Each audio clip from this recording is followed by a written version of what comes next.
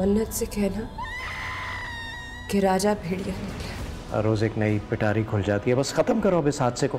किस किस को बताऊँगा मैं? कि मेरी बेटी भागना बन गई इस दुनिया से। सर जी वो लड़की के बाप को दे दिला के फारिग करें। केस खत्म करवाने के लाख कौन देता है? उसके तो लाखों नहीं बनते।